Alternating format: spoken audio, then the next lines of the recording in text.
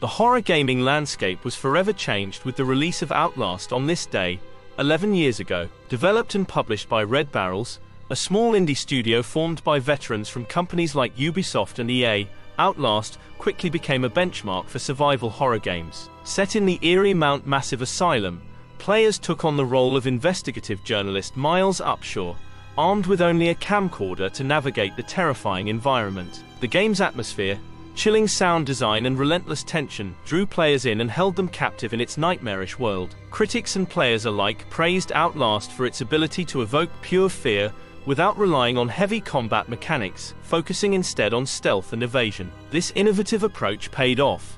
Outlast sold over 4 million copies across various platforms, cementing its legacy as a cult classic in the horror genre. To this day, Outlast remains a go-to recommendation for anyone seeking a truly terrifying gaming experience.